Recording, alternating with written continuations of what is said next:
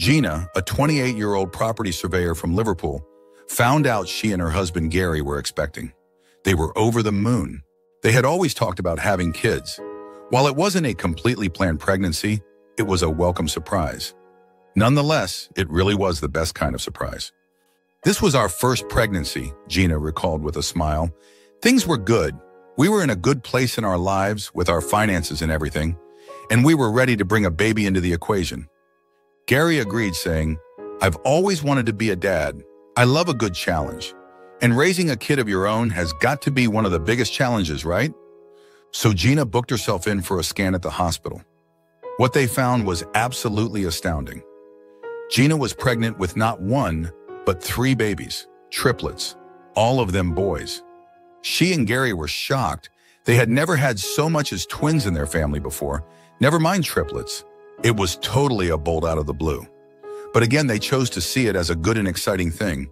It would be tricky having three babies, but it would be three times as rewarding too. Now let's take a moment to look at the chances of having more than one baby. Most pregnancies result in one child being born. That's pretty much standard, but the chances of having twins in a natural pregnancy are about 1 in 250, and the chances of having triplets jump up significantly to 1 in 10,000. So already Gina was defying the odds. But that's absolutely nothing compared to the 1 in 200 million events happening inside her body at that very moment. While the doctors were giving Gina her scan, they also noticed something else, something that gave them cause for concern. Unwilling to share the news with the parents, they instead held on to what they had found, preferring to double and triple check the facts. There was no need to worry the parents prematurely. We never usually withhold information from parents at their scans, said one of the doctors, but we didn't want to cause any sort of concern or worry before we were in possession of the full facts. It was a case of measure twice, cut once. Gina and Gary returned home and continued with their preparations. They had three times the amount of food, clothes, bedding, furniture, and a whole load of other things to buy. For someone who had never had children before, the pregnancy went fairly smoothly. Having not one but three babies growing inside you can be a real strain on the body. But Gina was healthy and strong. However, she never found out what the doctor saw during the first scan. All through her pregnancy, she attended regular scans and checkups, but not once was the shocking secret passed on to her. Whether it was through negligence or miscommunication, she remained blissfully unaware of the odds-defying secret within her. Closer to her due date, she started to have some unusual pains and spotty bleeding.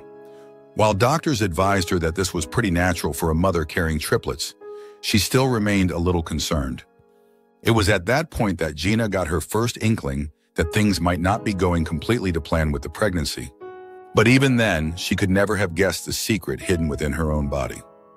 The day of the birth finally came, and Gina was rushed into the hospital one late morning.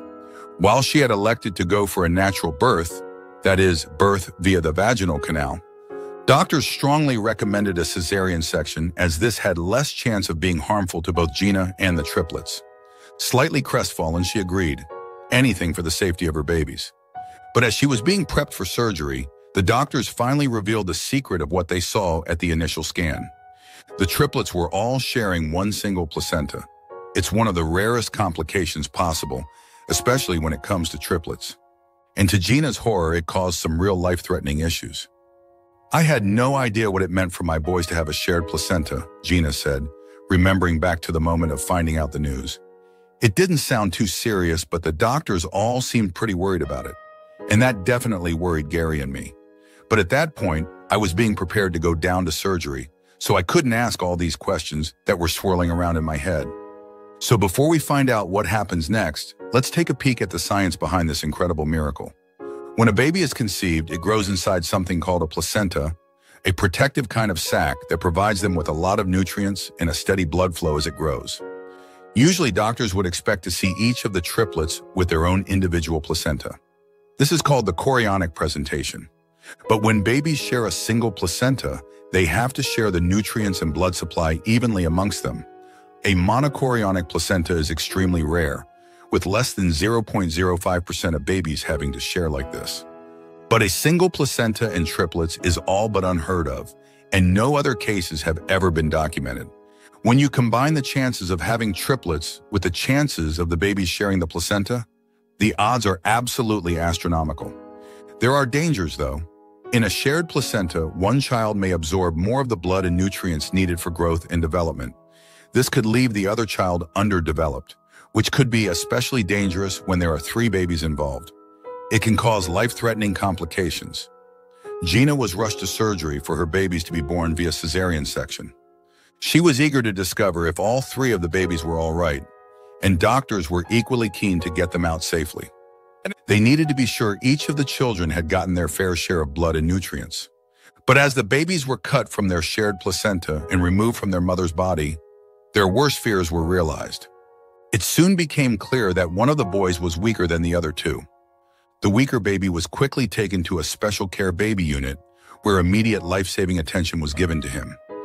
Gina and Gary were understandably nervous, yet they had to be strong for the sake of the other two babies. Would this third baby live or die? That remained to be seen. The chances weren't looking too good. Doctors battled to stabilize the weaker baby, who was going into shock after the arduous birthing process.